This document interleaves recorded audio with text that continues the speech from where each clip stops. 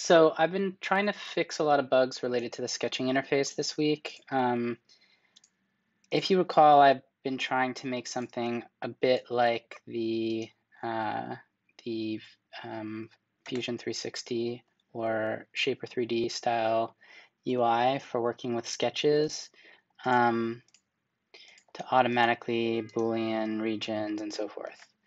But in addition to that, uh, I've been experimenting with a couple features um, that I just wanted to show off really quickly. Um,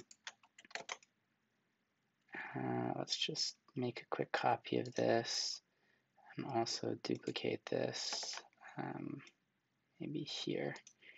So the first feature I worked on this week as an experiment is a bridging command to bridge between two curves.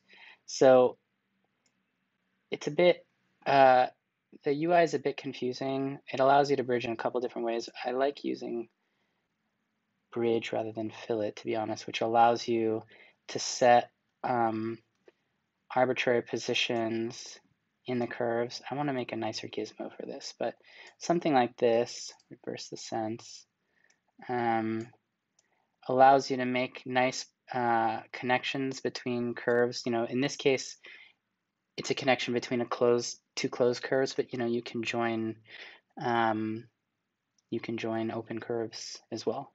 Um,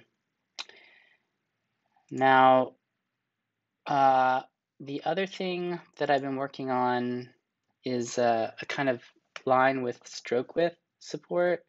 So for example, let me delete these guys.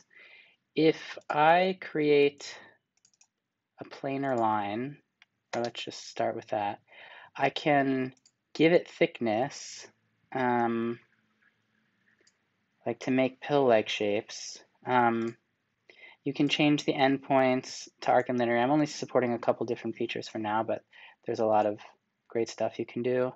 And, uh, you know, in, in general, this is like in theory, this is like all the kind of stuff that you could do in Adobe Illustrator. But then you can make pill-like shapes from it if you like. Um, but yeah, that's the basic idea for this week. I'm making progress. There's so many bugs to fix. Uh, but, uh, but yeah, it's coming along.